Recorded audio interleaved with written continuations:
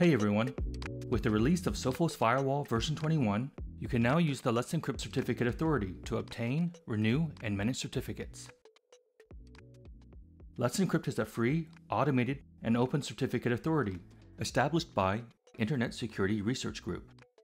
It's designed to simplify the issuance of SSL and TLS certificates, enhancing the security and privacy of the web.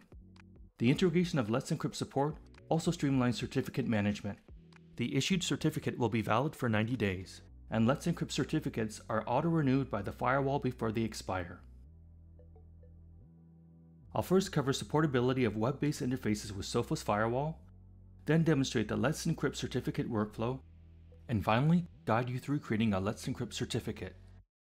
Let's get started.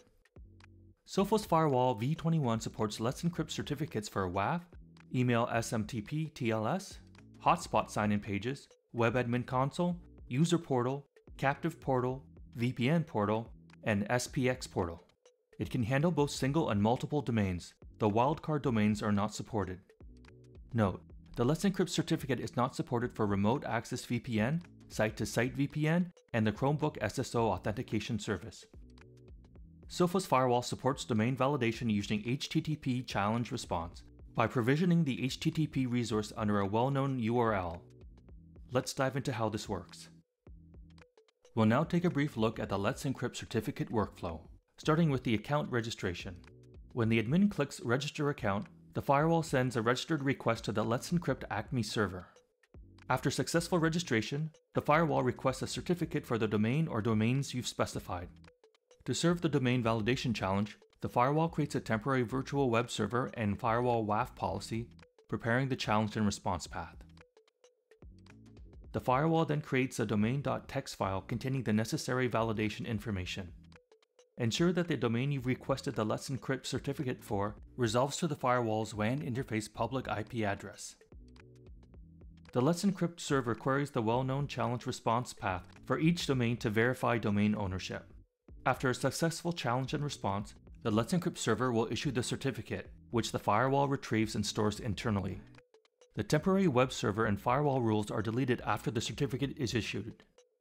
The firewall automatically renews the Let's Encrypt certificate 30 days before expiration, streamlining the process for hassle-free management.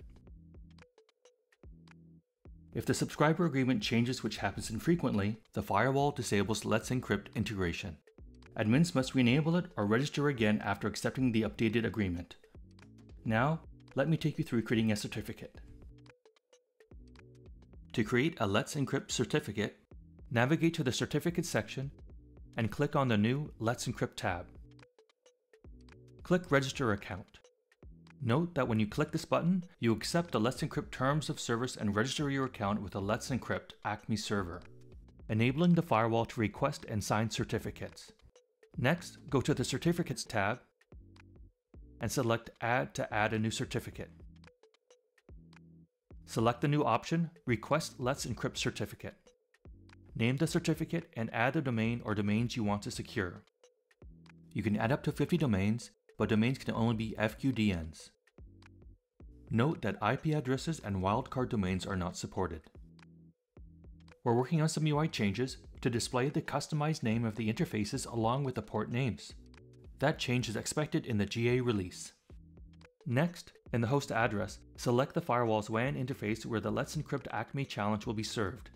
In this case, port B. The Let's Encrypt ACME server will send the HTTP challenge request to your domain on port 80 to verify domain ownership. For example, if you're requesting a certificate for domain example.com, the Let's Encrypt server will send the HTTP request using the well-known ACME challenge and using the IP address that the domain resolves to in DNS. Also, make sure the domain resolves to the public IP of the firewall WAN interface. In this example, my firewall domain should resolve to this firewall IP address. You will need an A record in DNS pointing to this public IP. If your firewall is behind NAT, ensure port 80 is properly forwarded with the destination NAT. After configuring the details, click Save.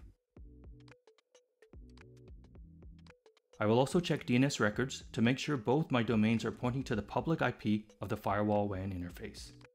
In this example, I'm using AWS Route 53 as my DNS provider, and I have created two simple A records for both these domains that are pointing to the firewall IP address. Now, in the background, the firewall communicates with the Let's Encrypt Acme server to verify domain ownership. To serve the domain validation challenge, the firewall temporarily creates a virtual web server and firewall rule. The firewall rule is created at the beginning of the Let's Encrypt signing process and removed at the end. This setup prepares a challenge and response path, and the firewall generates a domain.txt file with the necessary validation information. You can also confirm your firewall.domain colon 4444 in a web browser.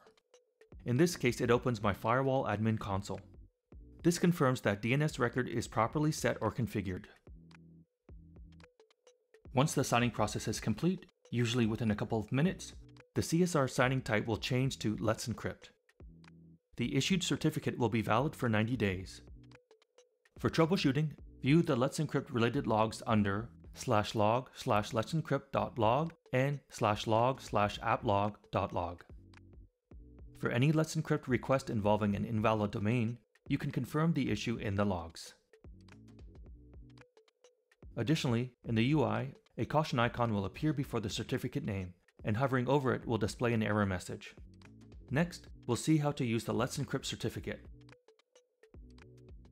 First, we'll see how to use this for various firewall console access.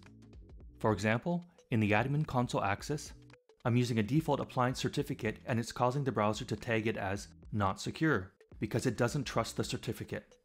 To use the Let's Encrypt certificate for Web Admin Console, User Portal, Captive Portal, VPN Portal, and SPX Portal, navigate to Administration, Admin and User Settings, Admin Console, and End User Interaction. You can now select the newly added Let's Encrypt certificate. Before I apply, Notice that this is not a secure connection. This is because the browser doesn't trust the currently configured certificate as it is self-assigned. Let's use the Let's Encrypt certificate, which provides a more secure connection. Now, I'll apply this configuration and try to access the firewall using the domain.